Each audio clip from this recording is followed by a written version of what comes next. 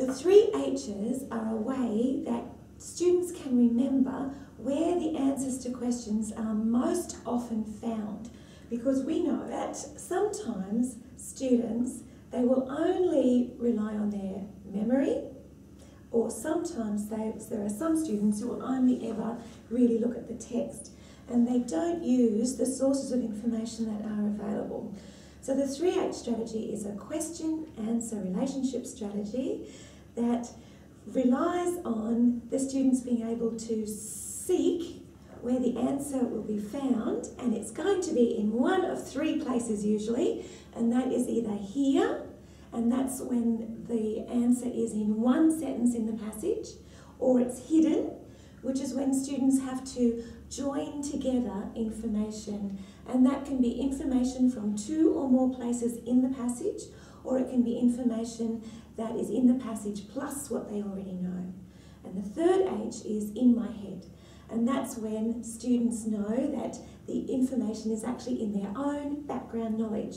So that is the three H's. And we're just going to illustrate each of these question types with this um, short passage. Large animals. Some large animals live longer than small ones. A turtle can live for 152 years. A cat can only live for 20 years.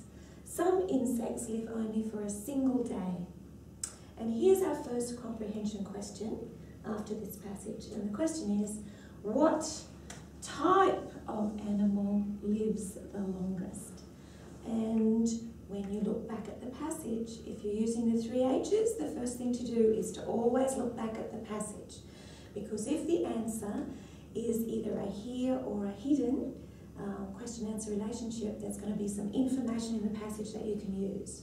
So let's see, what type of animal lives the longest? Well, in the first sentence it says some large animals live longer than small ones. So the answer is going to be some large animals. Large animals is the answer. Second question is, which lives longer, the turtle or the cat? So what I'm interested in from this question is which animal lives longer. And I've got to find information about the turtle and also the cat. So it's important for me to really look at what the question's asking me to do. So here I know that a turtle can live, live for up to 152 years, and whereas the cat is possible, um, uh, possibly around for about 20 years. So in order to answer this question, I have to join together these two pieces of information. And I know that 152 years is greater than 20, so I can answer this question by saying the, the turtle lives longer. And the next question is, how old is the oldest animal you know? So I want to know how old is the oldest animal you know. So I have to think about where the answer to this question is likely to be found.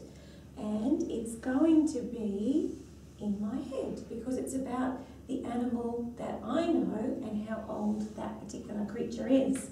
So I know that there's information here about the turtle and how long it is, how, how long insects live, but I don't know any insects personally. And mm, I've visited a turtle in the zoo, but I don't really know them or it. So I'm going to stick with my answer being Wally. And Wally, mm, Jamie's cat,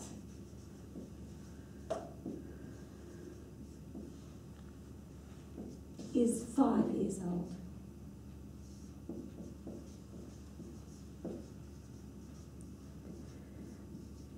And that would be my answer.